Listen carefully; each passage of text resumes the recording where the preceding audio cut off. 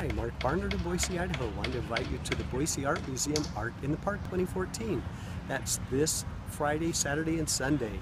Saturday, it's from 10 to 8, and Sunday from 10 to 5.